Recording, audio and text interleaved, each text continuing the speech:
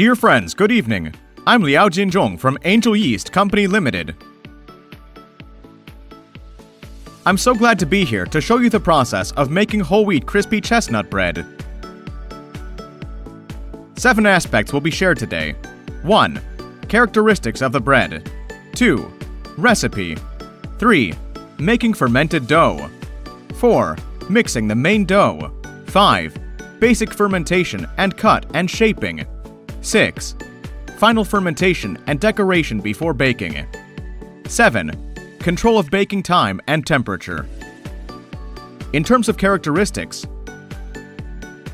from the appearance, this bread has typical characteristics of European-style bread. From the taste, chestnut kernels are added to the dough to enrich the monotonous taste of traditional European-style bread. From the recipe, rich raw materials are used chestnut kernels, and stout are added to replace part of the water in the recipe. We also add rye flour, whole wheat flour, an appropriate amount of honey, and a little butter to the flour to make the bread more nutritious and taste richer. Now, look at the recipe with two parts. First, the fermented dough, in which the baking percentage of bread flour is 30%. Angel Fresh yeast 0.3%, and water 30%. In the main dough, the baking percentage of bread flour is 40%, Baked Dream whole wheat flour 15%, low gluten flour 15%, and flour 100%. The percentage of flour is taken as 100%. That of all other materials is based on the amount of flour. 1% Angel Fresh yeast is add. Then, 0.5% Angel LD500, a bread improver for French bread, is added. To make the bread more crispy, 3% honey and butter are added respectively. Of course, this is not necessary. If you want to make pure sugar and oil-free bread, you may add a little more water. We add 30% stout, 30% chestnut kernels, 300 grams, and 1.8% salt, 18 grams. Now, all raw materials are added to this main dough. Baking percentage is an intuitive way to show bread recipe. Let's move on. First of all, making the fermented dough. The key is the control of temperature and fermentation time of the dough, and how to preserve it if it is not used up. Let's watch a video about the process of making the fermented dough.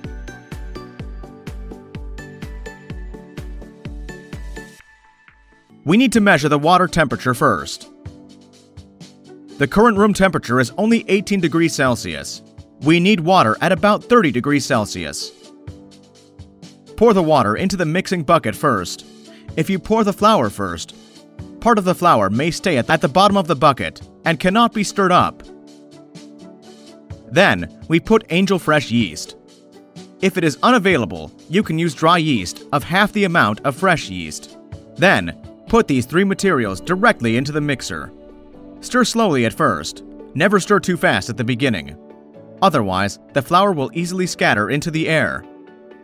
When it is stirred to the extent that no obvious particles exist, increase the mixing speed to make the dough more uniform. Okay, the total mixing time is about 3 to 4 minutes. Of course, it doesn't matter if you stir it for more or less time. But we need to pay attention to two main points. First, no flour particles. Second, complete dissolution of yeast. One more important thing is the temperature of the freshly mixed dough. It is generally around 26 degrees Celsius. Then, we seal and wrap it with preservative film. Put it at 18 degrees Celsius directly for fermentation for about 12 hours. This is its state after 12 hours. Its pH is now around 5.2, and the temperature is 12.2 degrees Celsius. Let's take a look at the state of the fermented dough. There are a lot of bubbles in it. This is the production of the fermented dough. Let's move on. For the mixing of the main dough, the first point is the order of material adding. It is important to know which materials should be added first. Second, Pay attention to the hardness, mixing degree and temperature control of the dough. These are very important for the main dough. Let's explain while watching the video. First of all, we mix the bread flour, cake flour, Baker Dream whole wheat flour, and angel yeast in advance. We don't need much flour. The mixer is relatively large, so we mix the dry materials in advance. What are the wet materials? First, a little bit of honey, water, and stout are mixed in advance to make the mixing more efficient. We put the dry and wet materials and the fermented dough into the mixer.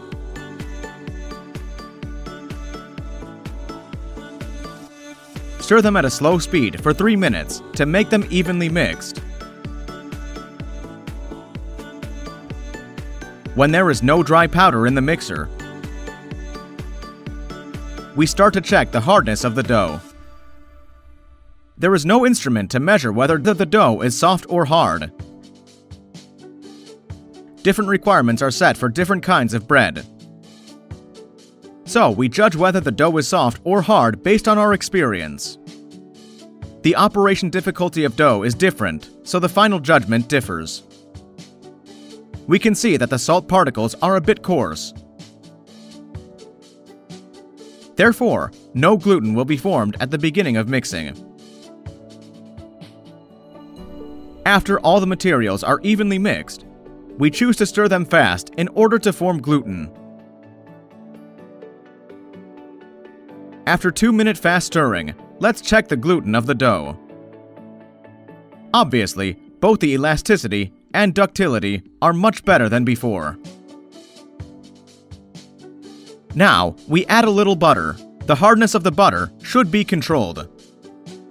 It must be easily broken by hand, if the butter is hard, it will hardly dissolve. We stir the butter into the dough at a slow speed when it is added to the mixer. Let's check it again. After the butter is completely dissolved into the dough, the gluten of the dough has almost formed. Let's take a look again. The dough membrane is a bit thick and not very even. Now I choose to stir it slowly for a while but we have to keep the time under control. If stirred for too long, the dough will be destroyed irreversibly. When checking the degree of mixing, put a little bit of dry powder on our hands to prevent them from sticking to the dough. How about the dough? It's still a little thick. Not enough. Let's stir slowly for another minute. The mixed dough should give a soft and comfortable feel. Let's take a look at the dough. The membrane we pull out is relatively thin and even, with a very smooth crack. We take this dough out of the mixer, put it on the operation table, and spread it out evenly. Then, spread the chestnuts on the dough. Our recipe contains 30% chestnut kernels. To ensure the integrity of these particles, we put the kernels into the dough manually. Let's roll it up like this. Then fold it for three times. To mix the dough more evenly with the kernels, we sprinkle some flour on the surface of the dough and then thin it. Now, the room temperature is relatively low, so we put the dough on the baking tray and take it to the fermenting box for basic fermentation. Let's take a look again. The dough is cut and shaped after basic fermentation. The key of basic fermentation is fermentation temperature and time control. We can see from the first picture on the left that the temperature of the dough is 25.6 degrees Celsius which is suitable for the growth and reproduction of yeasts in the dough. The dough is fine when fermented to about 1.3 to 1.5 times of the original volume. The temperature is generally controlled at about 26 to 28 degrees Celsius, which must be well matched with the time of fermentation. For humidity, it's okay as long as the surface of the dough does not crust or dry out. Then, the dough is cut into 400 grams each. Then, we put it into the rattan frame for fermentation with the closed end upward. Let's look at its cut and shaping through a video. Pour the fermented dough onto the operation table. It looks very soft and fluffy. We cut the dough into 400 grams each. Pay special attention here. The dough is directly shaped into a circle. So we make it into a circle directly when cutting. Look carefully at how the fermented dough is shaped. First, pat off the uneven large bubbles in the dough. To the extent that the dough is more fluffy, First, fold it and keep the upper part larger than the lower part so as to cover it. Then, fold it again. Still make the upper part cover the lower part. Let's see if it's equivalent to a quarter of a circle, like a sector. Then, turn the rim into a circle like this. To make the dough bind more tightly, we tap it gently like this.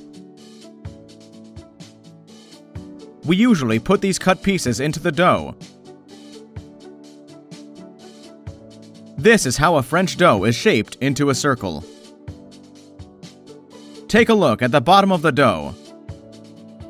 It is a French dough.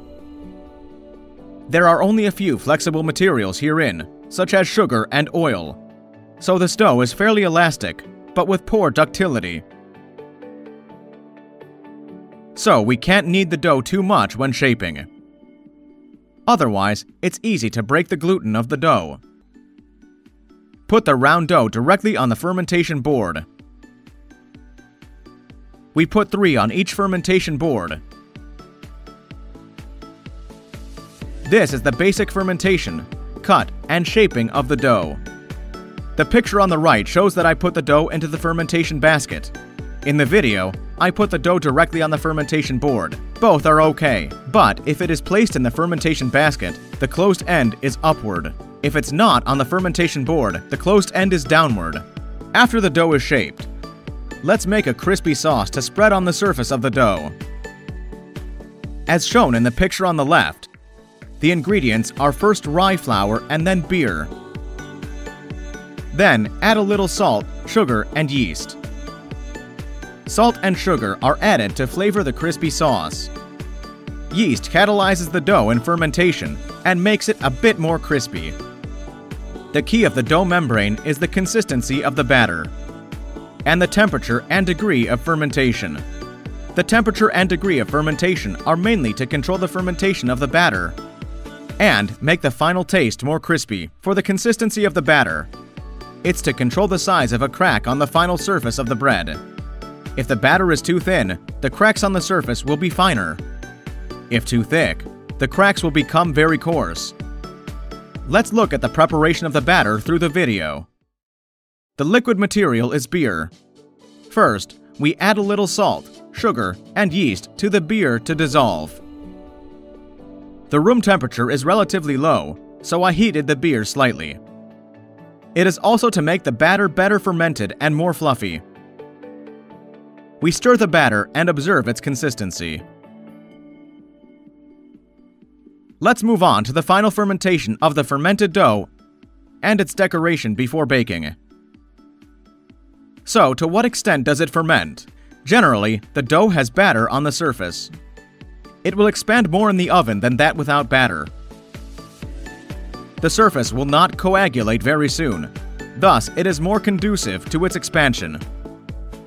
For example, generally, pineapple bread will be fermented less than common bread, the pineapple surface will not coagulate quickly in the oven. For common bread, its surface will coagulate as soon as it is put into the oven, and it will not expand much after heating. So it's very important to judge the degree of fermentation. Second, it's to control the amount of crispy batter on the surface. Let's watch a video. First, the fermented dough is about twice the original size. This is the fermented crispy batter, we can see a lot of bubbles in it. Such batter will taste more crispy. If less fermented, it will taste harder. I put a scale here to show you. how much batter is put on each piece of bread. First, put the bread on the scale. Let's deduct the tare. There is about 60 grams batter put on each piece of bread. 44 grams is not enough. Let's go on. About 60 grams is okay. For each piece of the bread, we first squeeze all the batter required and then spread it evenly. It's just okay. A little bit more for the last one. Now, we spread the batter evenly with a spatula. Okay, just like this. Try to spread the batter as lower as possible. The more evenly you spread it, the more uniform the cracks will be.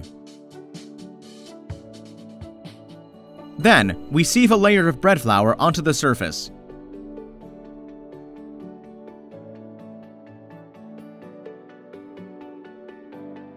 The thickness must be even.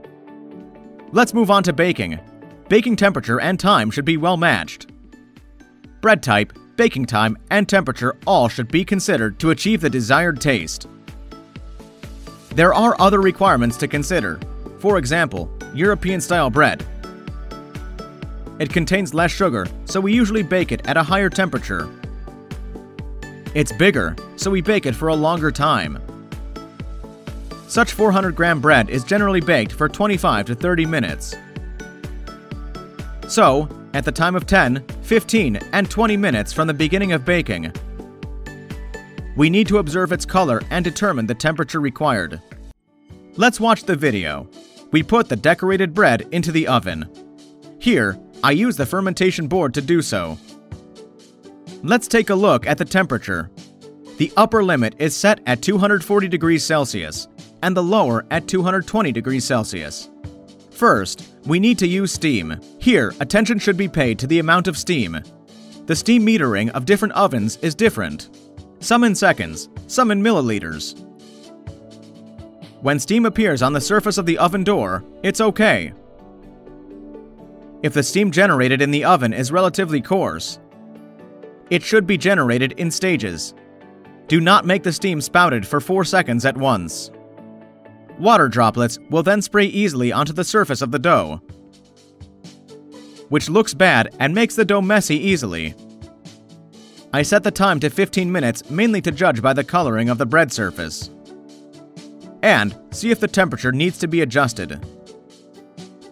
After baked for about 7 minutes, the bread is basically shaped, with cracks formed. Then, some water vapor appears on the surface of the glass, as the vapor in the oven is relatively sufficient. Strictly speaking, maybe the volume of the dough is a little bit too larger, so the fermentation time would have been shortened a little. The first 15 minutes of baking are up. Let's look at the color of the dough. The top is slightly yellowed. Let's bake for another 10 minutes. I'm afraid that the lower limit 220 degrees Celsius is a little bit too high so I adjust it to 210 degrees Celsius. The upper limit is adjusted to 230 degrees Celsius. It is a safer approach, since the bread is too big. If the temperature is too high, the baking time will be shorter. I'm afraid that the bread will not be baked thoroughly and will be sticky to the teeth. Or, I lower the temperature a little bit and prolong the baking time a little bit. Waiting for the bread to come out is a happy but suffering process. If it is in the state you imagined, you will be very happy and relieved. But if it looks different from what you imagined, you might be disappointed. Baked a little bit drier, it will taste crispier. We can see the color of the bread through the glass, which is slightly white. Let's open the door and take a look. The color of the two in the further side is quite good. During baking, sometimes, the steam is exhausted in the last 5 minutes to make the bread surface crispier.